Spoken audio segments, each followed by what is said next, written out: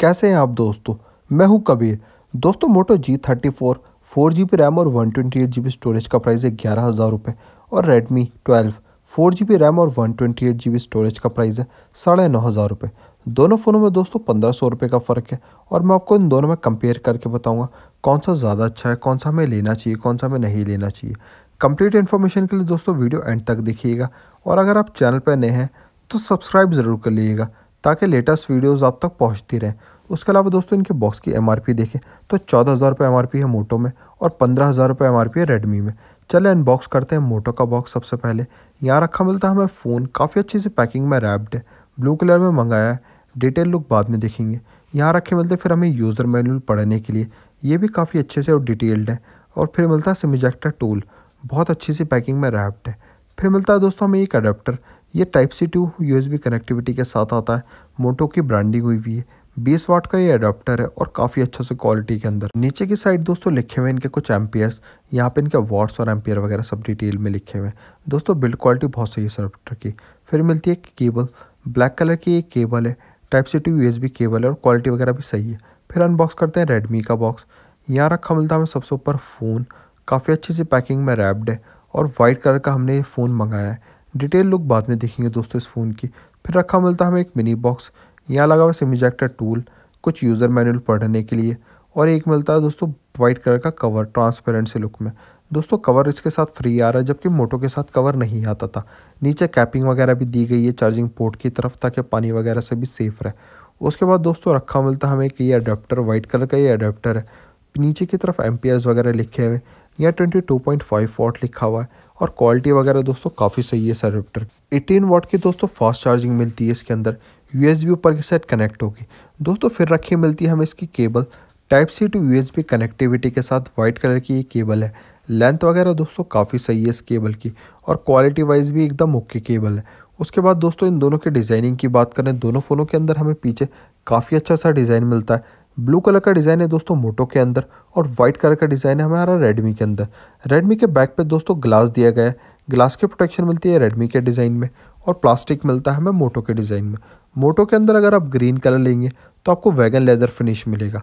Overall दोस्तों पीछे दोनों की डिज़ाइनिंग काफ़ी सही है। स्क्रैचेज़ वगैरह आने के चांसेस दोनों फ़ोनों में काफ़ी कम है। रेडमी के बैक पे तीन कैमरे हैं दोस्तों और फ्लैश लाइट भी बड़े अलग से तरीके से दी गई है। जबकि मोटो के डिज़ाइन में दो कैमरे ही मिलते हैं बैक पे हमें। दोस्तों, इन दोनों की डिज़ाइनिंग वगैरह काफ़ी अच्छी है। आपको इन दोनों से किसकी डिज़ाइनिंग ज़्यादा अच्छी लगी, मुझे कमेंट करके ज़रूर बताइएगा। या तो रेडमी की, जिसके पीछे ग्लास है, या मोटो की, जिसके पीछे प्लास्टिक है। वैसे तो दोनों की डिज़ाइनिंग काफ़ी अच्छी है। उम्मीद है आपको दोनों की डिज़ाइनिंग अच्छी लगी होगी। चले ऑन कर लेते हैं हम अपना फ़ोन और देख लेते हैं कुछ इनके इंटरनली फीचर दोस्तों प्रोसेसर की बात करें Snapdragon six ninety five six N M पे प्रोसेसर मिलेगा हमें मोटो के अंदर। और मीडिया टेक का हीलियो जी प्रोसेसर है। रेडमी के फ़ोन में। ये ट्वेल्व एन एम पे दोस्तों प्रोसेसर की स्पीड वगैरह तो वैसे मोटो में ज़्यादा अच्छी है। मोटो का फ़ोन ऑन भी जल्दी हो गया। प्रैक्टिकली एक बार यूज़ करके देख लेंगे कि किसकी स्पीड ज़्यादा बढ़िया है। मोटो का फ़ोन दोस्तों काफ़ी स्मूथ है। मुझे चलाने में ऐसा कहीं नहीं लगा कि हैंग वगैरह हो रहा है। और रेडमी का फ़ोन भी हमारा ऑन हो गया। दोनों में यूज़ करने में काफ़ी सही है। कोई ज़्यादा लैगिंग या हैंगिंग दिख नहीं रही ऑन होने के बाद। एक छोटा सा स्पीड टेस्ट करके देख लेते हैं कि इन दोनों में से ज़्यादा फास्ट कौन सा है। सबसे पहले दोस्तों ओपन कर लेते हैं फ़ोन का डायलर ये बहुत इंपॉर्टेंट चीज़ है। यहाँ पे मोटो के अंदर जल्दी खुल गया और रेडमी के अंदर काफ़ी सारा टाइम लगा कि इसको खुलने में। मैसेज भी दोस्तों मोटो के अंदर जल्दी ओपन हो गया और रेडमी में टाइम लगा। क्रोम भी दोस्तों ओपन कर लेते हैं, या मोटो के अंदर जल्दी खुल गया और रेडमी में यहाँ भी फेल हो गया। उसके अलावा सेटिंग्स भी खोल के देखते हैं। ये तो मोटो में बहुत ही फास्ट खुल गई और रेडमी में सबसे ज़्यादा टाइम सेटिंग खोलने में ही लगा। प्ले स्टोर वगैरह भी चेक कर लेते एक बार खोल के इसकी क्या स्पीड है। ये दोस्तों मोटो के अंदर जल्दी खुल गया। और रेडमी में टाइम लगा। क्लियर कट टू कट यहाँ पे रिज़ल्ट हैं कि मोटो का फ़ोन ज़्यादा फास्ट है रेडमी से। वैसे आप अगर एक जनरल यूज़ के लिए फ़ोन ले रहे हैं तो आपको कोई ज़्यादा फ़र्क नहीं पड़ेगा। लेकिन अगर आप हैवी गेमिंग वगैरह यूज़ करना चाहते हैं तो मोटो का फ़ोन ज़्यादा फास्ट है। दोस्तों डिटेल के अंदर यहाँ पे इनकी रैम्प लिखी हुई है। दोनों फ़ोनों के अंदर फोर जी रैम्प है और रेडमी के अंदर रैम्प अपग्रेड का ऑप्शन है। ये छः जी रैम में कन्वर्ट हुआ हुआ है इस वक्त रेडमी का फ़ोन सेटिंग में जाके हम इसके अंदर रैम्प और बढ़ा सकते हैं। आठ जी दोस्तों मैक्सिमम रैम्प हो सकती है इसकी। वन ट्वेंटी स्टोरेज है दोनों फ़ोनों के अंदर। मोटो के फ़ोन के अंदर दो सौ काट के दी गई है और रेडमी के फ़ोन के अंदर इक्कीस जी काट के दी गई है, एक सौ में से। तो ज़्यादा स्टोरेज हमें यूज़ करने के लिए मिलती है मोटो के फ़ोन के अंदर। ये एक बड़ी एडवांटेज है मोटरोला के अंदर।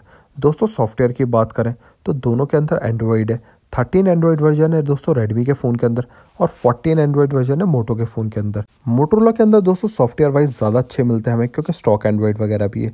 उसके अलावा दोस्तों डिस्प्ले की बात करें तो रेडमी के अंदर डिस्प्ले मिलेगी हमें I P S L C D six point eight inches की और मोटो के अंदर मिलेगी I P S L C D six point five inch की। ये दोनों के डिस्प्ले डिज़ाइन है। दोनों फ़ोनों के दोस्तों बेजल वगैरह काफ़ी कम दिए हुए हैं और यूज़ करने के लिए डिस्प्ले ज़्यादा मिलती है और दोनों के डिस्प्ले में पंचोल का डिज़ाइन मिलता है। तो लेटेस्ट डिज़ाइन तो दोनों ही फ़ोनों के अंदर है। ब्राइटनेस वगैरह की बात करें तो यहाँ पे हमें रेडमी की ब्राइटनेस ज़्यादा मिलती है, क्योंकि रेडमी के अंदर पीपीआई ज़्यादा है थ्री नाइन्टी सिक्स और मोटो में टू सेवेंटी रिफ्रेश रेट की बात करें तो दोस्तों वन ट्वेंटी हर्ट्स का रिफ्रेश रेट है मोटो में और नाइन्टी हर्ट्स का रिफ्रेश रेट है रेडमी के अंदर। ये एक बहुत बड़ा फ़र्क मिलता है। रिफ्रेश रेट ज़्यादा अच्छा मोटो के फ़ोन के अंदर है, जिसकी वजह से फ़ोन यूज़ करने में काफ़ी स्मूथ है। दोस्तों बैटरी की बात करें तो पाँच हज़ार बैटरी है दोनों फ़ोनों में और फाइव है मोटो का फ़ोन और फोर है रेडमी वाला फ़ोन तो यहाँ पे एक बहुत बड़ा टेक्नोलॉजी का भी फ़र्क मिलता है हमें। तो रेडमी का फ़ोन काफ़ी आउटडेटेड हो गया।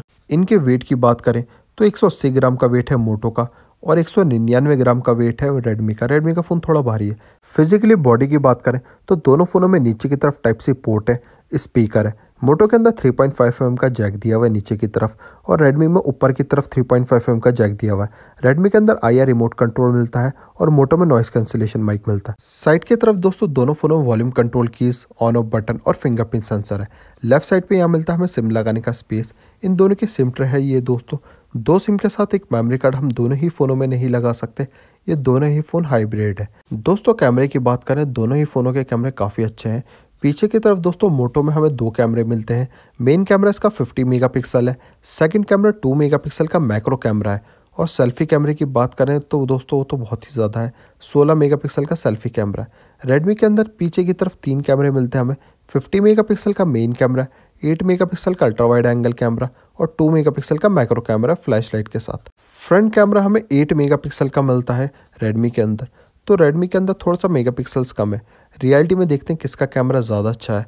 ये दोस्तों दोनों के कैमरे हैं और इनके नीचे दिए हुए यहाँ पे कुछ मोड्स, दोनों फ़ोनों के अंदर वीडियो मोड, फ़ोटो मोड, ये तो कॉमन मिलेगा और पोर्ट्रेट मोड भी कॉमन मिलेगा।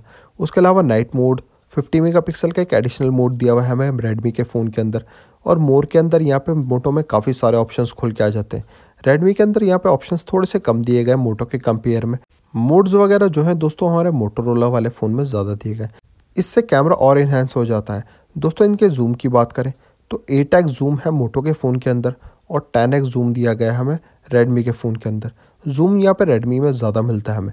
दोस्तों पिक्चर क्वालिटी है जूम करने के बाद दोनों फ़ोनों की।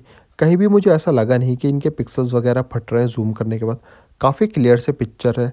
ये दोस्तों, दोनों फ़ोनों से ली गई फ़ोटोज़ हैं। आप देख के बताएँ आपको ज़्यादा क्लियर किसकी लग रही है। वैसे मुझे तो यहाँ पे मोटरोला की पिक्चर क्वालिटी ज़्यादा अच्छी लगी और कैमरे के अंदर मोड्स वगैरह भी मोटरोला के अंदर ज़्यादा मिलेंगे। अगर आपको एक कैमरा फ़ोन चाहिए तो मोटो का फ़ोन ज़्यादा अच्छा है रेडमी से। दोस्तों ओवरऑल सारे फीचर्स की बात करें तो मोटो के अंदर हमें यहाँ पे रिफ्रेश रेट ज़्यादा अच्छा मिला है डिस्प्ले का फास्ट चार्जर मिल रहा है बीस वाट का। उसके अलावा दोस्तों स्टॉक एंड्रॉयड मिल रहा है तो यूज़ करने के लिए स्टोरेज भी ज़्यादा। सबसे बड़ा फ़र्क दोस्तों ये है कि फाइव फ़ोन है मोटो का और रेडमी का एक फोर फ़ोन है। कैमरा वगैरह भी मोटो का ज़्यादा अच्छा मिला हमें। दोस्तों, सारे फीचर्स में कंपेयर करने के बाद मैं आपको कहूँगा, आप मोटो का फ़ोन लें, क्योंकि प्राइस में कोई ज़्यादा बड़ा फ़र्क नहीं है, सिर्फ़ पंद्रह सौ रुपये का फ़र्क है। आपको इन दोनों में से कौन सा फ़ोन ज़्यादा अच्छा लगा, मुझे कमेंट करके ज़रूर बताइएगा। दोस्तों, वीडियो अच्छी लगी हो तो एक लाइक ज़रूर कीजिएगा। मैं मिलता हूँ आपसे अगली वीडियो में। अगली अनबॉक्सिंग या कंपैरिजन के साथ।